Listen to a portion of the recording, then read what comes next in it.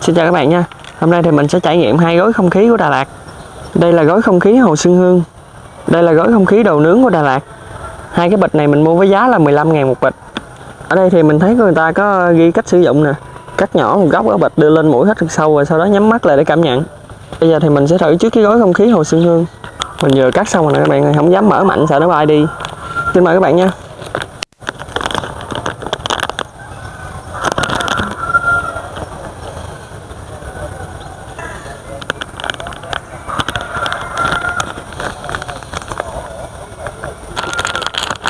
Để gói lại lát, mình đánh giá chung nha. Tiếp theo là gói không khí đồ nướng Đà Lạt.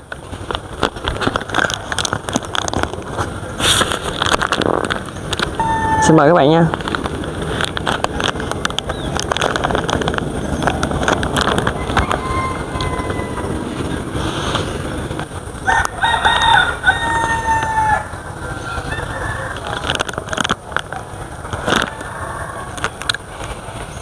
Nãy giờ mình ngửi á, thì mình thấy nó mát mát.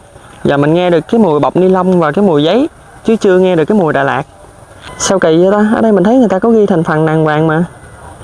Cái túi này cũng có thành phần luôn gà sốt tiêu xanh gì nè. Không biết có phải là đó giờ mình chưa từng đi Đà Lạt nên mình không có biết cái mùi Đà Lạt ra sao.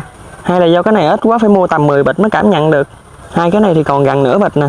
Bạn nào lấy không mình bát lại cho nha.